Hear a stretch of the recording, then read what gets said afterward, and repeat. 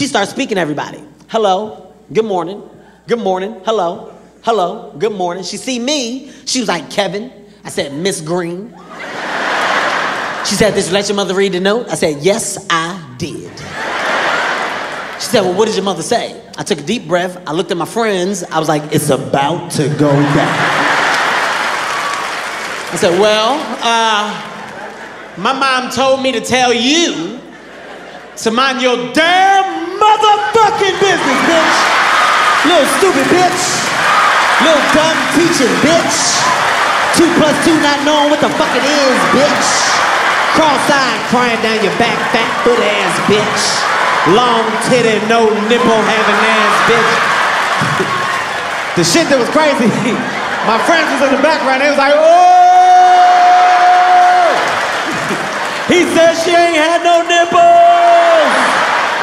nipples.